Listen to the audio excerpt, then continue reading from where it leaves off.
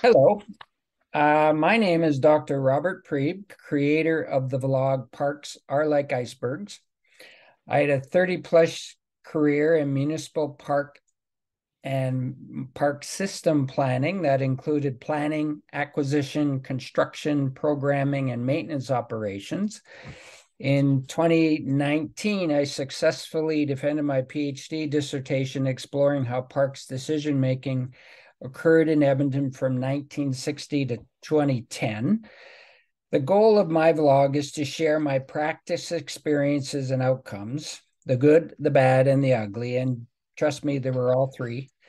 I have faced, I have, however, faced most issues planners and park staff must deal with on an everyday basis. So I'm providing you what I would suggest is an informed perspective based on Northern Alberta experiences, but it's my perspective only. And um, so take take it for what it's worth, kind of thing. I call each edition of my vlog Ice Sculptures. Today's is about investing in people, investing in human health and wellness, and invite in and more broadly in, in investing in individual and community well-being. I'm linking the benefits of parks, recreation, and leisure off my last blog on November 14th to municipal municipal budgeting processes. I'm pleased to say that joining me today is Kelly Rudyk, a long time uh, a longtime municipal uh, Alberta employee, not municipal province, but longtime Alberta resident. He owns a he runs a consultancy called It's Logical, which his it has um, which is focused on priority based budgeting. He will share a framework he uses to prioritize and municipal expenditures, not limited to parks.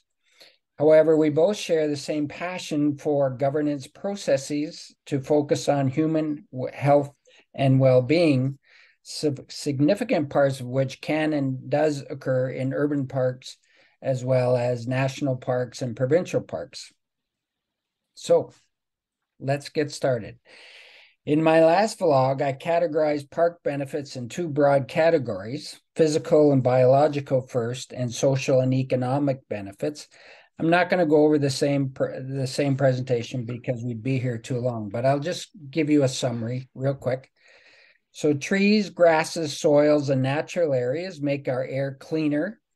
In urban areas, make it cooler, and it also the it also helps makes the air safer to breathe provides uh, diverse landscapes that ensures our plant vegetation and animal life are more resilient to disease infestation and climate change effects, reduces stormwater flows and protects our streams and rivers and lakes, particularly during extreme weather events.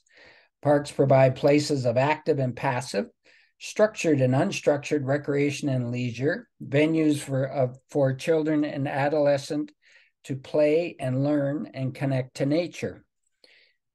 Connections to individuals and groups in the community reduce stress, reduce crime, and reduce the othering of other races and cultures, etc., and generally promote pro social behavior.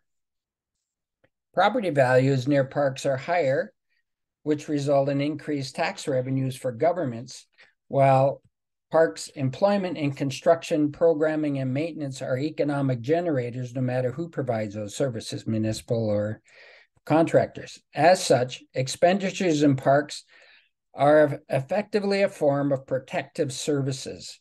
They provide community wide preventative health and wellness opportunities uh, for taxpayers and community more broadly that also help to reduce other municipal, provincial, and federal investments in roads, utility services, healthcare, and protective services such as police, fire, and social services. so next I will turn this over to Kelly. When Kelly's done, I'll come back and talk about the kind of investments that could be made in parks and parks infrastructure to help create resilient communities. Thanks for coming, Kelly. Thanks, Bob. Uh, great to be here. Uh, thanks for the kind words and introduction. Uh, yes, just about the same amount of time as you uh, in this space. And uh, 2019, I left a long time career with Strathcona County where we met uh, and started It's Logical and uh, been enjoying it immensely uh, since since then. Um, you mentioned budgeting, and I, I, think that's where I could maybe bring the most value to this conversation. In that traditional budgeting in uh, our municipal space, I think has has largely been a very competitive environment for all of the um, different departments um, that are part of that process. And um, bringing in priority based budgeting, I, I believe it is something that could and should be used um, a lot more broadly in our sector um, because really it uh, it has folks asking the questions about and you and I have chatted about this before about our big why. Like, why does a municipality exist? And you and I are of the same mind, and many, when I talk to them about this, uh, feel the same way. We really exist to um, create and nurture those conditions for people's lives to be better. We play a very important role because we are the most intimate form of government that there is. You know, people see the services and programs that we provide on a daily basis. And sometimes they don't even realize it, whether that's driving the roads or or walking on the trails they just they just come to to expect that but not really question who who provides it. So priority based budgeting like i said um, is a it's a budgeting methodology that hasn't been used very broadly in in canada. We were one of the first in strathcona county and it's been a part of my practice with uh, with It's Logical. Um, so if we take that for for uh, I would hope a given in in that we we're in the we're in the game of of providing well-being. Um, it behooves us then to look at those things that we do, those programs, services, buildings, infrastructure, all of that should be looked at with that lens of well-being. How do the things that we do move the needle on those well-being aspirations of our community and our citizens? Um, so the way we do that is ask in a very genuine way our community different questions than maybe we've asked in the past. You know, I, I can't tell you how many municipalities still ask the question around taxes. You know, what do you what do you think about your taxes, citizen X? Well, they're too high. I want to pay less, but I want everything that you're giving me now and I want more. So if we know the answer to that question, I don't think we should be asking that question. It's it's a given. Maybe we need to ask different questions around that well-being concept. So what do you feel the municipality should be doing more of to create those conditions of well-being um, returns for you as a citizen? And it's really asking the same question, but in a different way. So once we determine in in a more genuine way what it is that the community desires as far as well-being what we do to do to provide that return and by by looking inwardly at what we actually do i'm talking about actually scoring and ranking these things. So ask ourselves you know some tough questions about is it moving the needle on these things that that the municipal uh, that our citizens want and if we're genuine about that that introspection, we'll get a we'll get a ranking order of the things that we do. And you and I both talk about priorities. And the definition of a priority is something takes precedence over something else. Well, if we have this order of, of value, naturally something is more valuable than something else. And budgeting should be about you know turning the dial up or down on those things that bring the most value rather than just taking everything we do year after year and trying to do it all but trying to do more. So when we ask those questions again back to the well-being idea um, there is going to be um, things that we do that have different ranking uh, as far as what they bring in as far as well-being return. And so we should be looking at everything we're doing um, from a well-being perspective. And i have a strong uh, bias towards um, everything recreation related has those numerous impacts like you're talking about whether those be parks trails um, you know everything everything from a social aspect to health benefits uh, environmental benefits. Um, you're very articulate at sharing those but from my perspective the highest um, asking those higher order questions about priorities and how they show up in budgeting processes and strategic planning um, I would I would think we'd be doing ourselves favors when we ask from a lens of of well-being. Cool. Um, that that's that's quite interesting. Uh, what, what you know in the in the time that I was working, um, we were never very good at deleting things, but we were always really good at adding things to do kind of thing. So what's priority? Um, and you know, City of Edmonton's going through a process right now with uh, Scona Pool where they're shutting it down because it's falling apart and and they want to build something else somewhere nearby, which is great, but there's a, a lag. So it's always difficult to withdraw services once you have them kind of thing. So right. Well, Bob, with that, um, I think one of the things that helps out is when you have a real good pulse on demand. And you and I talked very specifically recently about a, a very specific example in the community that you and I live. I've been seeing more pickleball courts um, pop up.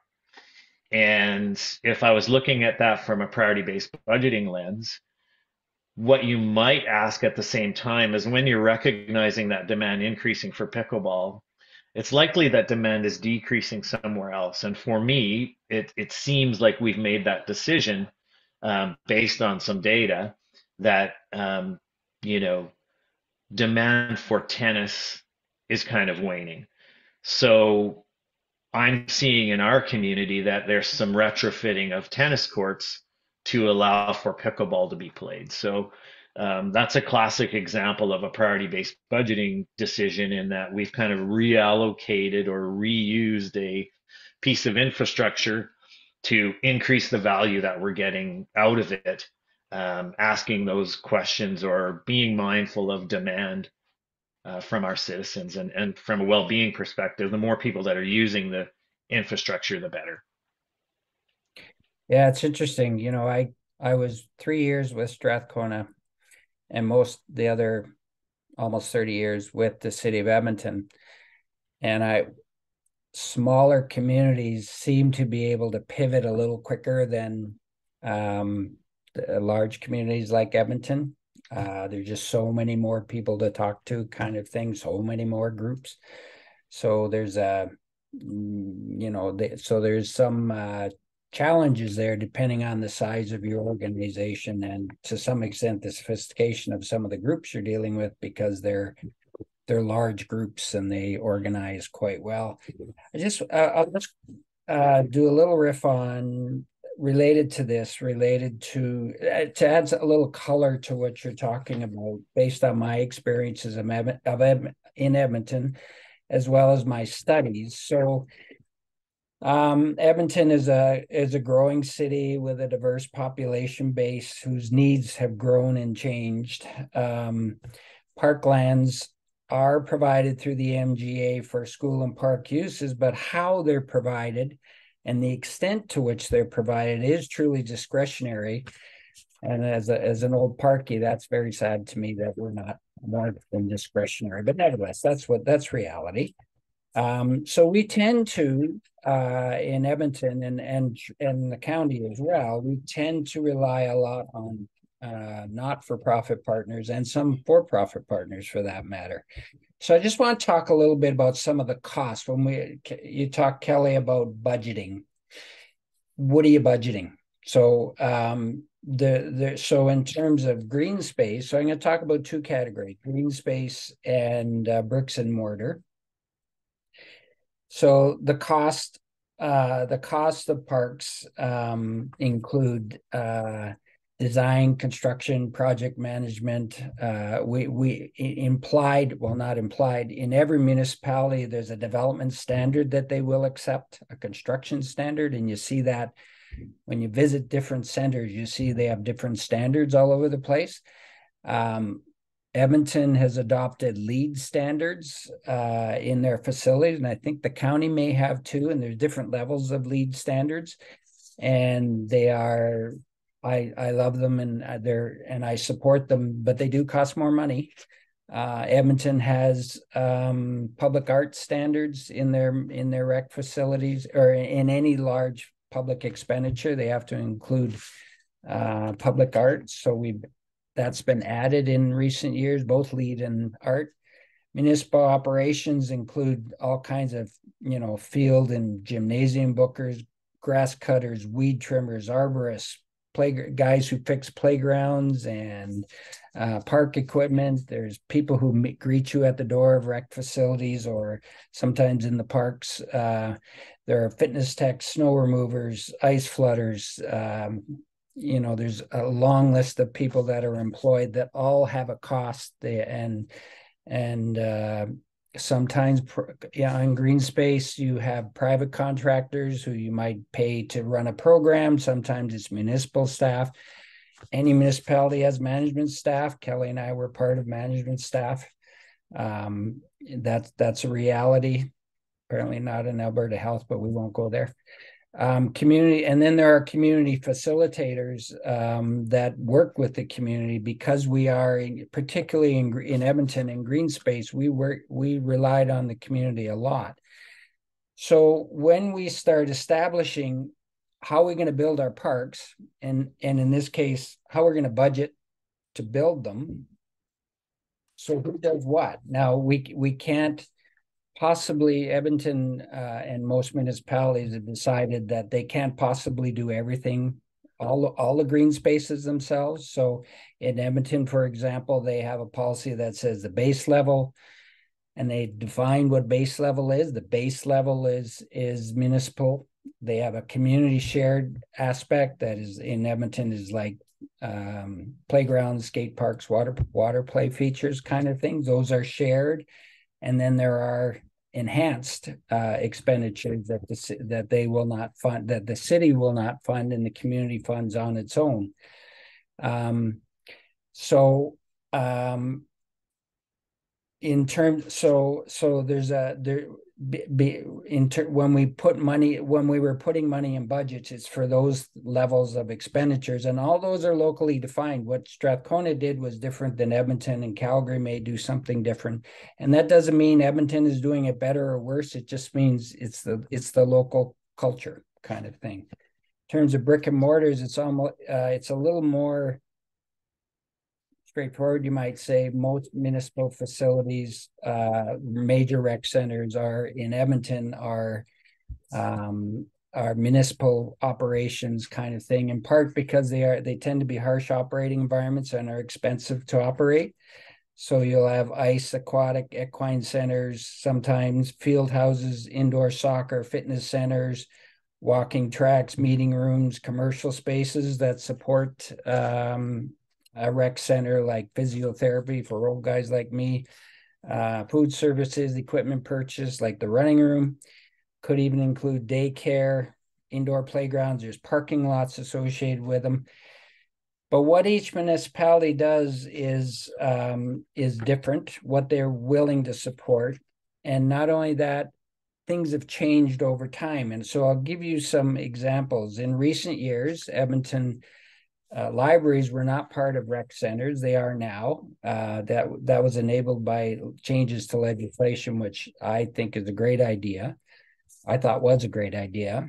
Um, municipalities have been allowed now to collect rec recreation facility fees from developers in new plan areas. I don't think Edmonton's picked up on that. I'm not sure who has. I think St. Albert may have, but I could be wrong.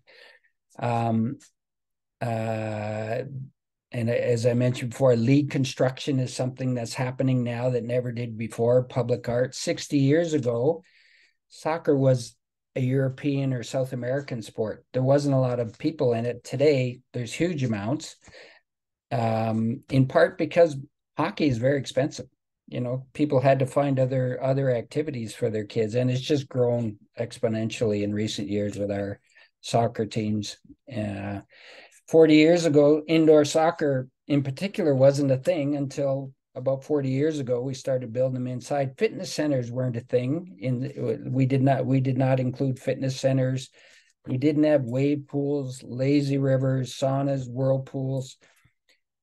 They weren't part of our uh, of of our facilities but today they become almost an expectation kind of thing which there's some issues around expectation management that we have to think about when we're doing this work um, dog parks were not a thing 30 years ago. We didn't have dog parks in Edmonton 30 years ago. Now they are wildly popular and wildly controversial. I can tell you, I lived through a couple of them. Uh, recognition of the indigenous peoples in our park systems is something that you know has only come to the fore in the last 10 years ish kind of thing should have been done before. Natural area provision uh, protection in edmonton wasn't a thing until the 2006 2016 urban parks management plan that i was the project lead on. So we weren't capturing natural areas formally in policy in our park system um, gymnasium spaces because of the because of the raptors gym, basketball is huge. Gymnasium spaces are growing. Aquatic aquatic facilities are growing. Interest in aquatic facilities.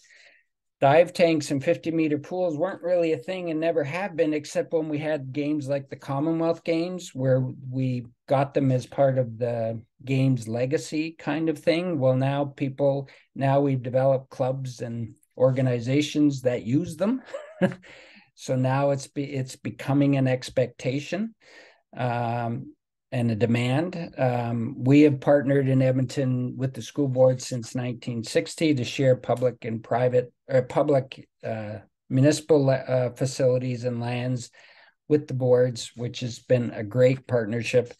Not every municipality does it, but Edmonton did. There was a time, think about minor hockey. There was a time um, when minor hockey was mostly an indoor sport. Uh, sorry, an outdoor sport and then in Edmonton, we said, let's build, let's enclose some of our outdoor rinks. We called them shell arenas in the late 70s. So the Westwoods, Creston, Tip, Tipton, those were all shell arenas. They weren't really intended to be full blown arenas. And now we have twin ice sheets in our major rec centers. Edmonton has not historically funded new curling rinks. Well, while smaller towns do tend to have curling rinks more so than Edmonton. Not not that there aren't curling rinks in Edmonton, but they're they're generally more community run. Um, uh, major facilities in the River Valley, which are tourist facilities, they're not budgeted in the same way. So they've had to find they created foundations that help um, that help uh, fund the the new amenities that they need at Fort Edmonton Valley Zoo, whatnot. Um, so they found other ways to create some money. The major in in uh, we have the city has partnered with the YMCA and YWCA on on on uh, aquatic on aquatic facilities. And I'll share one last thing. Uh, there was a recent discussion at City Council that kind of kind of captures what we're talking about here, um, where they're they want they're building a new recreation center in West Edmonton on called Lewis Farms. I've forgotten the name of the park site itself, but it was a district park site. Now they want to build a rec center. Uh, they had budgeted all out and they had a certain amount of money, and then all of a sudden, the costs went up as they do um, with supply chain and and and uh, inflation that's hitting everybody uh, uh, municipalities as well. So they came back to council and asked, and and weren't asking for money, but actually came back and said we can reduce the budget by delete by basically modifying the program. And the program they want to uh, change is they want to make the 50 foot pool a 25 foot pool and eliminate the diving tank. Now, the diving tank, the only other diving tank like of the same quality, you might say, I believe is at Kinsmen, and, there are groups that have now there's the you know diving diving groups kind of thing, and they're looking for some new facilities because these this is a once we created the, the, the facilities, then we created the groups that operate them kind of there, use them. So when they came to council, the council report termed the change right sizing, comparing it to other district major rec centers. And for me, the report and position raises some question, some weird questions, but nevertheless, the the discussion is what is one they need to have. What is a legitimate program for rec facilities? Um, should we be accommodating diving tanks and 50 foot pools kind of thing?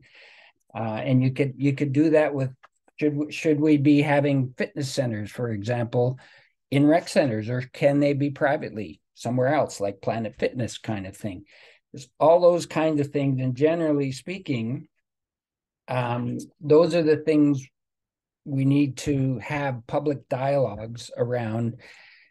You know, we Kelly and I are talking about budget processes. So when we're approving capital and operating budgets, my experience and my readings as a when I was in school um, was you don't have those discussions at budget time or at council initially. You you have to sort out what's priority long before council. But nevertheless, it's it's entirely appropriate to ask what is it we want to provide. They've done this for years in uh, you know minor minor sport in, in Edmonton, for example, minor hockey. They only get so many hours per level per team, and if they want more, they pay full rate because the the the the base level is subsidized by the city, kind of thing.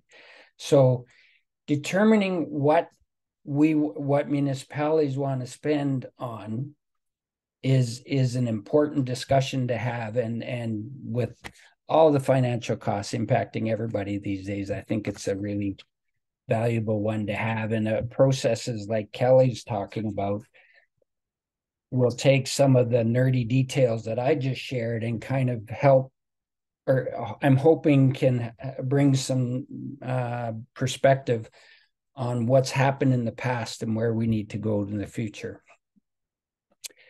that's my story and I'm sticking to, to it. Kelly, do you have anything to add? Well, just listening to you, especially near the end there, um, you used a word that I think doesn't get talked about enough, and that's value.